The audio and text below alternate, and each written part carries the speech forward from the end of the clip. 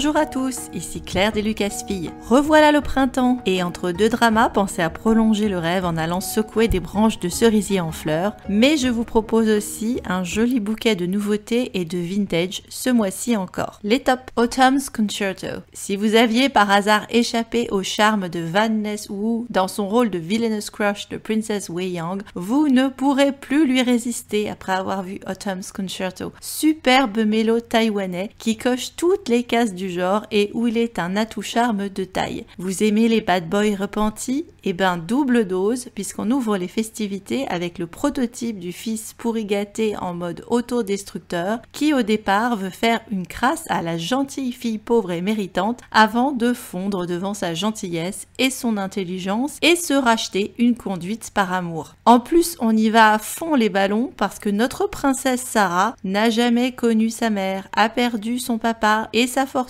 et sa belle-mère s'est accoquinée avec un vieux dégueulasse qui va la harceler sexuellement à toutes les occasions. Tu as déjà tout pour un drama des familles, mais là, mais là c'est re the drama, car alors que nos amoureux surmontent bien des difficultés, on nous balance un cancer du type et amnésie et un chantage familial, sans oublier l'inévitable enfant du secret, et du coup la deuxième partie nous permet de jouer belote et rebelote dans la dynamique des personnages. C'est un régal de bout en bout, vu que tout à coup tu as l'impression d'être tombé dans Ten Miles of Peach Blossoms, le fantastique en moins, et avec une fille dans le rôle de Yéroi et un garçon dans celui de Baïtienne. Et alors faites-vous plaisir avec Van Ness sous la douche qui va vous envoyer direct en prendre une justement de douche et des scènes hyper sexy avec un bon passage du mode bâtard activé assez savoureux. Offrez-vous vraiment ce plaisir car oui, vous le méritez. Autumn's Concerto, c'est de la bombe. Mr. Queen. J'étais très intriguée de voir le remake coréen du déjanté Go Princess Go et si on a bien gardé un vent de folie dans cette histoire et les grandes lignes,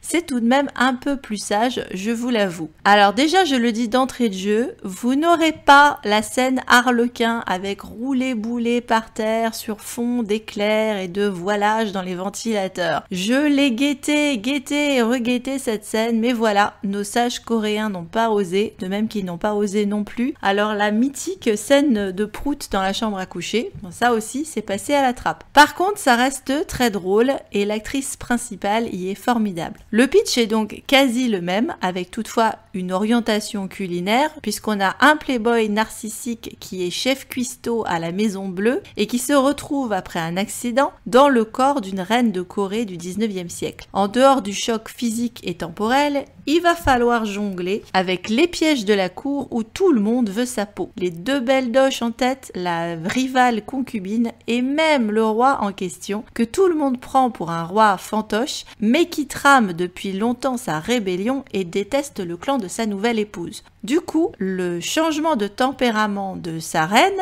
n'a pas fini de le surprendre et bien sûr, comme dans la série originelle, on va jongler avec une homosexualité de camouflage alors que l'héroïne slash héros est de plus en plus confus sur son orientation sexuelle. Ça fonctionne très bien et tous les acteurs s'en donnent à cœur joie avec une bande son pleine de peps et de fantaisie et de savoureux personnages secondaires. True Beauty. Adapté d'un webtoon populaire, la série a cartonné et j'ai beaucoup aimé malgré un bon nombre de critiques à soulever. Comme d'habitude, zéro crédibilité sur cette ambiance lycée où, tous les acteurs sont trop vieux et puis que dire de l'uniforme euh, quand même un poil trop sexy des filles ou du papier peint shabby chic sur les murs. Mais le vrai problème n'est pas là. Revenons à l'histoire. Une lycéenne change de bahut après être devenue la souffre-douleur de son lycée pour crime d'acné et de lunettes, et donc de mochitude. Elle jure qu'on ne les reprendra plus, et au lieu d'aller chez un dermato, elle se lance dans une opération de cache-misère avec bébé crème, concealer, double dose, triple dose en tout genre. Enfin bref, tu es bien dans un drama coréen. Et là, c'est un crime suprême, oh my god, car il faut qu'elle garde le secret de cette double identité entre mochitude naturelle et sublime pépé grâce à son fond de teint. On se fout de nous, comme si les autres grognasses de son bahut ne se maquillait pas aussi. Sans compter que la victimisation de la fille mince mais technique, c'est pas sympa, certes, mais quid des petites grosses alors qui font vaguement de la figuration au dernier plan? Ce qui sauve la série du mauvais goût, c'est la personnalité de la Miss qui est accro au BD d'horreur et son triangle amoureux, bien sûr, avec d'une part le beau gosse pas commode du lycée qui ne peut pas l'encadrer et le rebelle à boucle d'oreille et moto qui avait pour moi des relents de Mathias dans Lucie l'amour et rock'n'roll.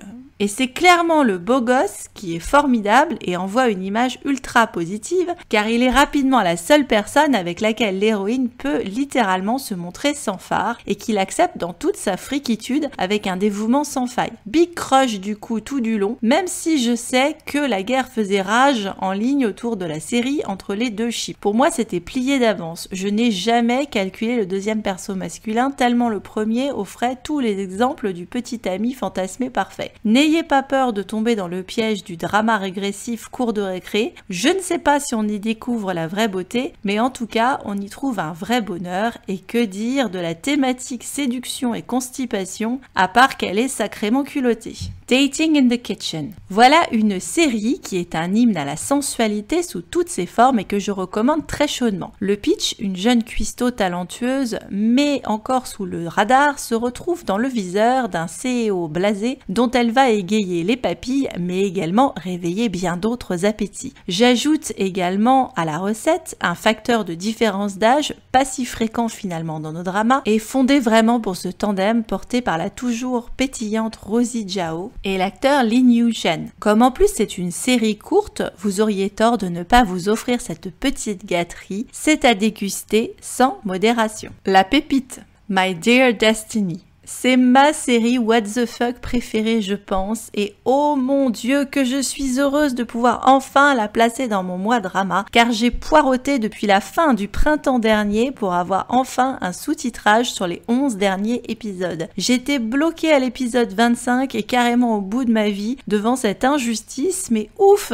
voilà, enfin j'ai pu terminer cette série. Objectivement, c'est le bordel sur le plan du scénario. Les costumes et les maquillages tiennent plus de Sissi impératrice rencontre Nina Hagen que du réalisme historique. Et on est dans le surnaturel avec sorcières, loup-garou tellement pourrave avec oreilles d'elfe en plastique sorties de farfouilles et perruques blanches qui masquent à peine les cheveux noirs de l'acteur. L'intrigue en soi est assez convenue avec un MacGuffin d'épée et de pendentifs que clairement tu t'en fous royalement très vite. Mais honnêtement, toutes ces maladresses passent vite à l'as. Entre 1. La choupitude absolue de l'actrice Rayon de Soleil de Sleepless Princess et at Delhi Temple. 2. Les scènes ultra réussies du roi victime d'un enchantement qui a le physique de l'emploi en lycanthrope. Alors certes, ça a des allures des malheurs de Chichi, tant l'héroïne prend cher au début, vu que tout le monde cherche à lui faire la peau d'une manière ou d'une autre, et qu'elle a droit à la noyade, la bastonnade, la torture, l'enfermement, la prison, l'empoisonnement, j'en passe des meilleurs. Mais outre qu'elle a hérité d'un sang magique qui la guérit de tout, elle a aussi une belle résilience face à l'adversité et pas du tout une personnalité à la princesse Sarah en victime résignée. C'est un vrai, vrai, vrai rayon de soleil. Et elle va vous toucher le cœur comme elle arrive à toucher celui du roi bâtard. Déjà quand tu commences avec une scène d'ouverture, jacuzzi, pétales de rose et bisous sous l'eau, pas de souci, tu es sur l'autoroute du kiff. Et si sur papier ça paraît mal barré, je peux lister dans cette série un nombre dingue de scènes mémorables et iconiques. Sans oublier que cette série avait une des plus belles bandes originales à mon goût de 2020 avec au moins trois thèmes musicaux magnifiques. Donc je persiste et je vous dis que ce drama What the Fuck est avant tout un feel-good drama et une vraie bonne surprise. Ils auraient pu faire plus court, Invisible Life. J'avoue que quand j'ai vu A Clos au générique, je n'ai même pas hésité à aller go pour une série où il joue un patron peu commode et sa relation avec une jeune employée ambitieuse qui commence comme il se doit par une antipathie bien réciproque. Et le début est très bien, évidemment, malgré des détails qui auront zéro importance par la suite, comme la mémoire photographique de la donzelle qui m'avait joyeusement rappelé au début Oh My Sweet Liar. C'est une série qui a le mérite d'être hyper réaliste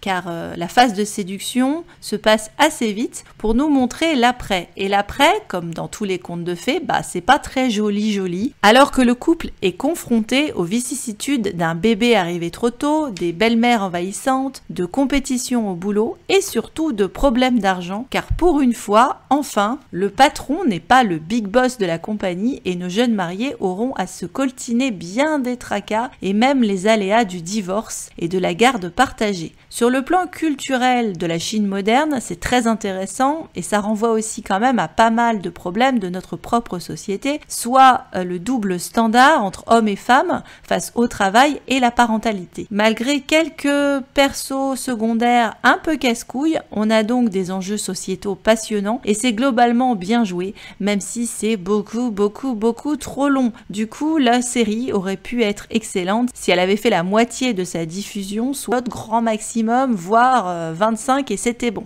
On continue la playlist avec Gogo Squid. La sortie récente du spin-off de la série DT Apple Dog Time m'a poussé à regarder enfin ce drama avec Yang Ze de Ashes of Love, à qui on confie quand même souvent des rôles de quiche qui se découvrent des capacités. Alors là, au début, tu doutes qu'elle en est, tellement il te la vend en ravissante idiote kawaii, mais bon, c'est Yang Ze, alors tu peux jamais lui en vouloir et on te sort du chapeau que son perso est en fait experte en intelligence artificielle en plus d'avoir des talents de cyber chanteuse. Comme quoi. Hein. Euh, évidemment, c'est surtout pour forcer le trait sur euh, notre association standard de garçons habillés en noir faisant la gueule et vivant une vie monacale, et la nana rayon de soleil habillée de blanc ou de couleur pastel, dans la grande tradition et le plus grand plaisir de nos couples yin-yang. Ici, notre moine a dédié son existence à l'univers de la cybersécurité, plus particulièrement du CTF, soit des tournois où des équipes s'affrontent pour se voler des données, et est donc le coach d'une petite équipe qu'il veut emmener cocorico chinois jusqu'à la première marche du podium international.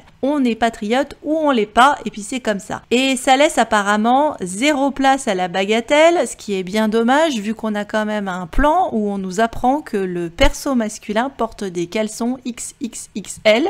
Enfin, ça s'invente pas. Pourquoi nous donner ce genre de détails? Donc, il en a dans le calbut. Ça nous fait bien plaisir. Donc, du coup, bah, notre grand calibre va croiser une mistinguette qui flash sur lui dans un cybercafé et va donc se lancer dans sa propre tentative de brèche de sécurité en essayant d'infiltrer sa vie et son cœur. C'est charmant tout plein et le couple fonctionne du feu de Dieu avec une jolie découverte pour cet acteur qui est trop adorable en pépère à chat et va donc rejoindre, j'ose à peine le dire, nos fans de Minou de tout poil avec Pet at Daily Temple et The Cage of Love. Alors par contre, zéro crédibilité pour la soi-disant différence d'âge entre les deux personnages puisque un, pas ça se voit pas et deux, bah, les acteurs ont le même âge en fait. Nous infantiliser Yang Tzu avec des kawaiiries en tout genre n'y changera rien, mais bon, c'est un joli duo bien attachant donc euh, go go go, tentez ce drama si vous ne l'avez pas déjà fait. Unrequited Love. Je vais devoir préciser que j'ai regardé la version de 2021 car apparemment ce drama est adapté d'un roman si populaire qu'il y a déjà eu une version en 2019, des spin-offs divers et variés et un film en cours de production avec l'actrice de Princess Silver. C'est une bluette assez sympa mais je n'irai pas non plus jusqu'à crier au chef-d'œuvre donc je comprends difficilement cette folie de l'adaptation. Le pitch, une jeune fille aime depuis l'enfance un garçon brillant qui ne la calcule pas, d'où le titre, amour non partagé. En fait, le titre s'applique à quasiment tous les personnages de l'histoire, tant même les personnages secondaires se retrouvent en galère avec des amoureux et des amoureuses qui les friendzone ou les utilisent comme bouche-trou ou pour leurs besoins consuméristes. Nos deux personnages principaux sont présentés comme trop purs pour ce monde dans une série universitaire avec des prétentions intellectuelles puisque ça cite à tout va Kant,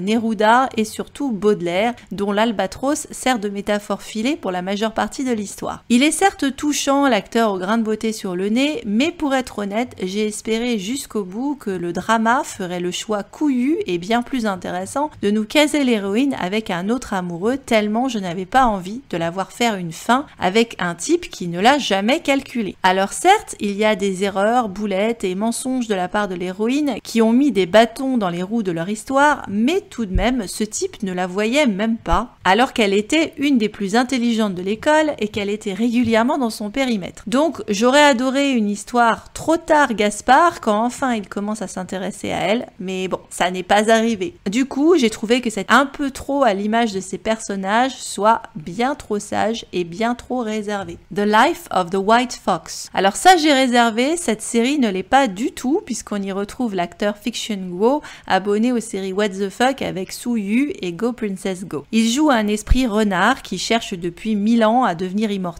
grâce à une perle magique, perle qui finit par un heureux hasard scénaristique collée euh, à une fille de brocanteur dégourdie et roublarde. Comme je l'ai déjà mentionné le mois dernier, on n'est jamais déçu par les histoires de renards dans les drames coréens et chinois et donc bah rebelote. Voilà une comédie fantastique pleine de peps avec démons, chasseurs de démons, cultivateurs, voyage dans le temps et notre héroïne mortelle qui se retrouve bien embarrassée au milieu de tout ce bordel car menacée de mort de toutes parts. On a une jolie cohabitation dans les dramas chinois en le secret, mais comme d'habitude avec cet acteur, c'est clairement Fiction Go, notre grand échalas aux oreilles décollées qui tient tout le drama tant sur le plan de la comédie que de l'émotion. Crash Landing on You, un gros carton sur Netflix cette série et nous en parlerons avec Aurélie pour notre spécial Yunbin qui est toujours aussi irréprochable. La série est très importante dans le cadre de l'évolution des mentalités de la Corée du Sud envers les frères ennemis du Nord, puisqu'on part sur une histoire d'amour impossible, quasiment à la Roméo et Juliette, mais du coup bizarrement version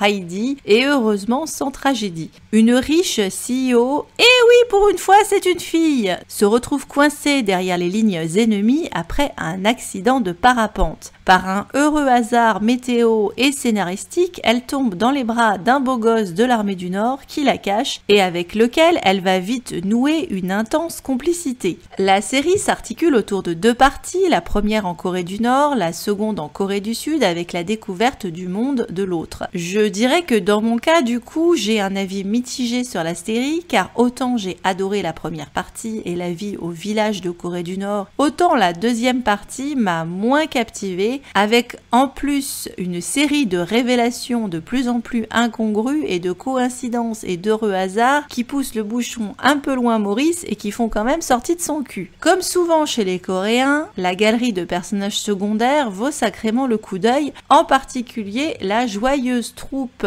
héritière de la 7ème compagnie du beau gosse. Les flops. To Love. Si le mois dernier j'avais été consterné par l'apathie de Zanilia Jao dans Legend of Fae, quelle ne fut pas ma surprise de voir Kenny, son iceberg de Princess Agents, dopé et pour cause dans cette intrigue policière sur fond d'histoire de drogue. Lui qui bougeait à peine un cil dans Princess Agents, le voilà en train de gesticuler, charmer, lancer œillade et compagnie, et rien que pour ça, les premiers épisodes valent le détour, d'autant qu'il se prend vent sur vent de la part de l'objet de son affection, une sublime patronne de café au tempérament aussi fort qu'un espresso. Lui est un ancien policier devenu homme d'affaires, en fait infiltré dans un plan de démantèlement d'un réseau, et va s'ajouter à l'affaire le meurtre d'un protégé de la donzelle pour lequel le perso masculin va se retrouver soupçonné. Tout le début est en flashback avec une première partie de chaque épisode du point de vue de l'héroïne et la deuxième partie du point de vue du héros, ce qui montre tous les malentendus entre les deux. C'était très rafraîchissant de voir notre Kenny aussi décontracté et chanter comme une casserole, mais j'avoue que je n'ai pas trouvé l'histoire transcendante et rapidement décrochée avec une fin qui en plus n'est pas particulièrement réussie. Donc ça a été une déception du genre ça commençait bien, mais ça a fini par être juste naze. Hi Jekyll and Me. Regardez pour le chouchou coréen d'Aurélie, le formidable Yoon Bin, on pouvait espérer beaucoup de son double rôle puisqu'il campe un personnage à identité multiple. L'originalité est que son vrai moi, notre typique CEO psychorigide qui fait la gueule au passé tragique, est un Mr. Hyde alors que son alter ego est un chevalier blanc prêt à secourir la veuve et l'orphelin et accessoirement la jeune funambule en détresse. Thanks. Du coup, c'est notre héroïne, fraîchement sortie du cirque du soleil, qui craque pour l'alter ego depuis l'enfance, mais va se bouffer le nez avec l'odieux CEO qui nous fait le coup du jumeau caché pour ne pas révéler le scandale de sa schizophrénie. Les enjeux de l'intrigue. Pour l'héroïne, sauver le cirque familial que le CEO veut virer de son parc d'attractions très inspiré de Disneyland en version plastique toc, et pour le personnage masculin, retrouver sa thérapeute qui lui avait promis la guérison juste avant de se faire kidnapper, enlèvement dont la seule clé est l'héroïne qui bien sûr souffre d'amnésie suite au choc. Bref, malgré un très bon démarrage,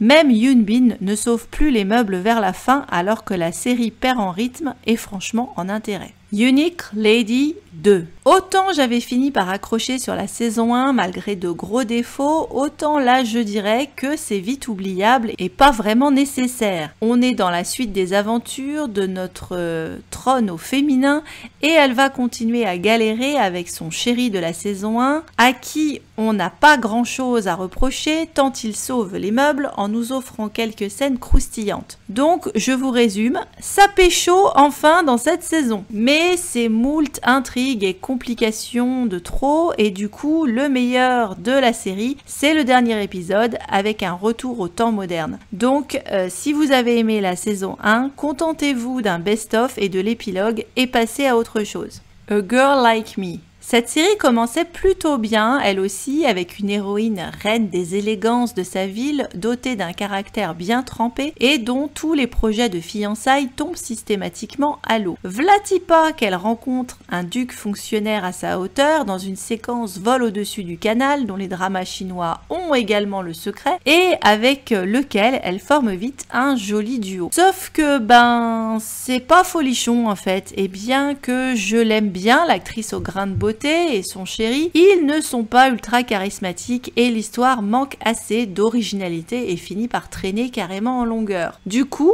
dans le genre, il y a mieux. Les Nigni d'or, meilleur acteur, Van Ness Wu, bien sûr. Comment vouliez-vous que je ne lui donne pas la palme avec ce festival qu'il nous offre dans Autumn's Concerto? Entre les moments bâtards, les moments choupis, les séquences émotions avec son gosse, ou face à ce qu'il croit être la trahison de sa chérie, sans oublier les scènes sexy et scènes de douche, bah je suis humaine, hein, bah je n'ai pas résisté. Meilleure actrice. Shin Ye-sun, Mr. Queen. Elle est extra en reine frappadingue qui va foutre le dawa à la cour de Corée. C'est une espèce de Catherine Hepburn coréenne avec beaucoup de tempérament. Meilleur acteur dans un second rôle, Jang Yi-tie dans Unrequited Love. Honnêtement, j'ai secrètement shippé son perso, quoiqu'un poil immature, avec l'héroïne, tellement je le trouvais plus sympatoche et plus charismatique que le personnage principal qui est quand même souvent à deux de tension. Il était très bien dans King is Not Easy, donc euh, je vais le guetter celui-là parce qu'il a un chouette potentiel. Meilleure actrice dans un second rôle, Cha Chung-hwa,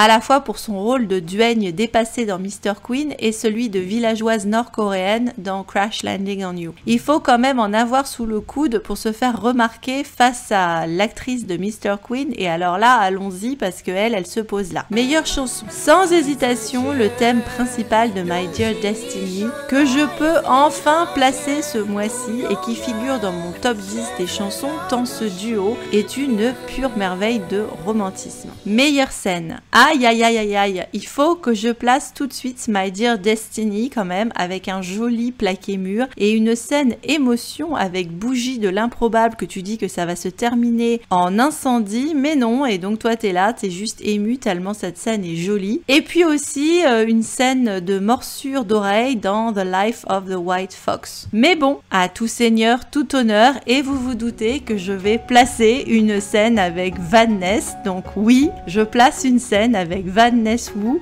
pour sa scène en mode bâtard activé au sortir de douche avec notre héroïne. Bon bah voilà, là aussi encore, je suis humaine, je n'ai pas résisté. C'est tout pour ce mois-ci. Je pense que vous aurez compris que le thème était Plus belle la vie avec Van Ness Wu. Donc, euh, plus belle la vie avec Van Ness Wu au printemps, alors que les bourgeons bourgeonnent et les fleurs fleurissent. Donc, bien qu'on soit au printemps, je vous recommande d'aller voir ce concert d'automne si ce n'est pas déjà fait. Et je vous dis au mois prochain pour une nouvelle sélection. Bon binge watch!